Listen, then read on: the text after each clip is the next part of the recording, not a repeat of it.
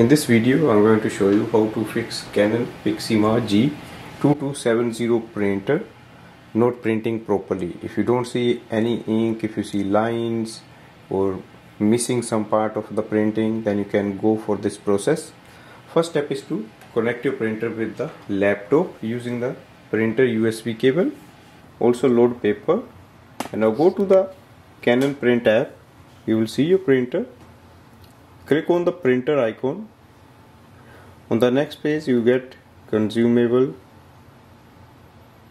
status device information and then utilities. In the utilities we can do the cleaning and nozzle check. To start the cleaning click on the start button and press ok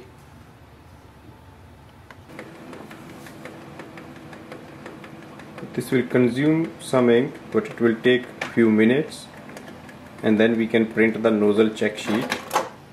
Let's print the nozzle check sheet. Click on the start print.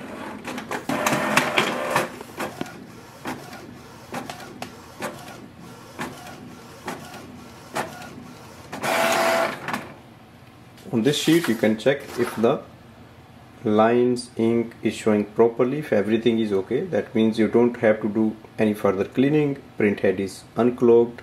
Ink is flowing properly. In case you see any problem then you can go for the cleaning again and you can repeat that cycle. Thanks for watching